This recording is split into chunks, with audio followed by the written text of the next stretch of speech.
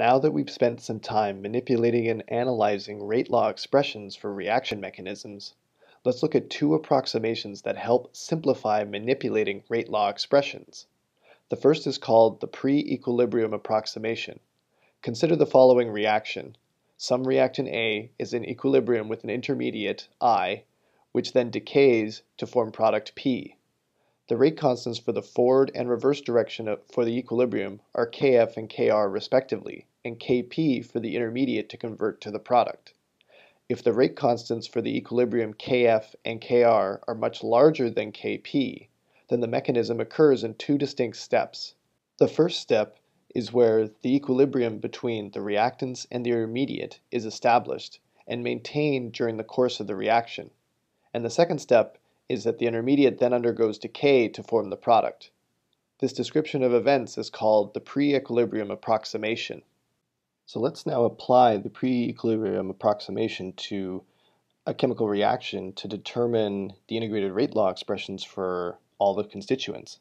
So in this case we have a mechanism where we have A that's in equilibrium with I and then I then decays to P and that there are rate constants that govern each of these pieces. And for this reaction, we determined that the rate constants that are governing the equilibrium are much, much larger than the rate constant that governs the conversion from the intermediate to the product. And so if we have some initial conditions, in this case at t is equal to 0, we have um, some amount of the reactant, and then we have no intermediate and we have no product. And so again, what we're going to do is we're going to apply the pre-equilibrium approximation. We're going to determine the integrated rate law expressions for all three constituent parts. So then let's write down all the information that we know about this, this reaction. So we know that we have a rate law expression that governs the rate of change of the reactants, so d concentration of A by dt, and that's equal to the consumption, which is just Kf times the concentration of A, plus the production of A, and that again is from the reverse part of this equilibrium, so plus Kr times the intermediate I. We also can write a rate law expression for the rate of change of the concentration of the intermediate, so di by dt, well that's equal to its production, which comes from A, so I have Kf times A, and then I have its consumption, so I'm going to subtract the equilibrium that's going in the reverse direction towards A, so I've got minus Kr times the concentration of I. And then I also have its conversion into P. So I have minus Kp also times the concentration of I. I can also write a rate law expression for the rate of change of the formation of the product, so dP by dt, that's equal to, and again there's just production of the product, and that's just the conversion of I, so then I have that is equal to Kp times the concentration of I. I also have an expression that governs just the total amount of stuff I have in my system, and since at t is equal to 0 I only have A naught, then that means then that the three constituent parts, A, I, and P, must sum to equal the total amount of stuff that I had originally, which was A naught. And then finally I have what the pre-equilibrium approximation tells me, and that Again, because the rate constants that govern the equilibrium are much larger than the rate constant that governs the conversion of the intermediate into the product, then I can then say, well, the equilibrium forms and it's stable for the course of the reaction. And so then I can just write products over reactants is equal to the rate constant. And so then I'm going to write then the concentration of I, since it's the product in this reaction, over the concentration of A, that's the reactant, and that's equal to some equilibrium constant k, and we saw earlier, well, that's also equal to the ratio of the forward rate constant divided by the reverse rate constant. And so then it's based on these five expressions, we're going to pick and choose between them to be able to solve and determine what is the integrated rate law expressions for the reactants A, the intermediates I, and the products P. So the strategy that we're going to employ to solve this is that we're going to first find what our concentration of the product is. And so we're ultimately going to be using this, this third equation, this rate law expression that, that governs the concentration of the product or the rate of change of the concentration of the product.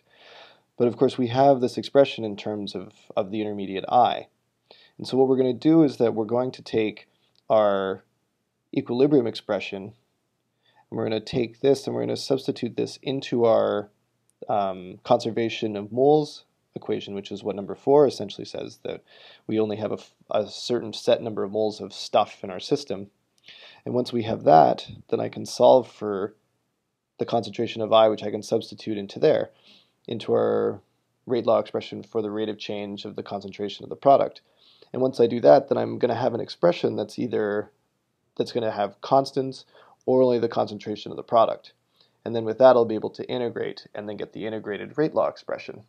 And once I have that, I'll be able to work backwards to get the concentration of I for L times T and also the integrated rate law expression for the concentration of A. So let's put this into practice. So like I said, the first step is I'm going to just plug in my equilibrium expression or my pre-equilibrium expression into my conservation of moles expression. So here's my concentrate or co conservation of moles expression. The amount of A naught or the total amount of stuff I have in my system has to equal to the amount of A naught, so meaning the moles of all my stuff that I have, my concentration of A, I, and P, has to equal what I started with, in this case, the concentration of A naught. And down here, if I solve for the concentration of A, this is from my pre-equilibrium expression, what we get is Kr times the concentration of I divided by Kf. And so I'm going to take that expression and substitute that in up here. Concentration of A naught is equal to, and this is where my Kr concentration of I divided by Kf plus the concentration of I plus the concentration of P. And then now what I want to do is I want to simplify this expression and solve for the concentration of I. So I'm going to move my concentration of P to the other side. That gives me the concentration of A naught minus the concentration of P. And that's equal to the concentration of I times 1 plus Kr plus K, or over Kf. And all I did was I just distributed out my concentration of I. My next step here is I'm just going to take what's inside my brackets here and I'm just going to multiply this term 1 by kf over kf, so I'm just going to multiply it by 1 in essence. What that does is just simplify this expression a little bit, so I'm going to have the concentration of A naught minus the concentration of P, and that's equal to the concentration of I times kf plus kr, all divided by kf. And then I'm just going to multiply both sides by kf over kf plus kr. And then essentially all that's doing is just moving this term over to the other side. So what I'm left with is kf over kf plus kr, and that's going to be multiplied by the concentration of A naught, my initial amount of A in the system, minus the concentration of P. And that's now equal to the concentration of I. And so now, like I said, I now have an expression for the concentration of I, I can now substitute that into my rate law expression for the rate of change of the concentration of P. And now what I have is an expression that's now solely in terms of constants or my concentration of P. And so now I can integrate that expression and solve for the concentration of P for all time. So let's apply that strategy. So here I've got my rate law expression for the concentration of P. dP by dt is equal to my rate constant Kp times the concentration of I. We just solve for that concentration of I. So I've got dP by dt is equal to my rate constant Kp, and that's going to be equal to Kp times Kf over Kf plus Kr, and that's going to be multiplied by the concentration of A naught minus the concentration of P. What I'm now going to do is I'm just going to divide both sides by the concentration of A naught minus the concentration of P and multiply both sides by dt. And so that's essentially just moving the dt to the right-hand side and the concentration of A naught minus P over to the left-hand side. And so what I have is d concentration of P divided by the concentration of A naught minus the concentration of P. And over here on my right-hand side, I have Kp, Kf over kf plus kr times dt. And then in this case, now I'm ready to integrate this expression. And so on my right-hand side, I'm just integrating from 0 to t. And on my right-hand side, I'm integrating from 0 to the concentration of p. And I write 0 here on the bottom simply because in the initial conditions, my the statement of the, the question said I had no p starting in the system. So at t is equal to 0, then my amount of P in the system is also 0. So when I evaluate this integral, what I get is the negative natural logarithm of the concentration of A naught, so the initial amount of stuff I have in my system, minus the concentration of P. And this is evaluated between 0, concentration of P. And on my right-hand side, I have Kf, Kp divided by Kf plus Kr, T, integrated between 0 and T.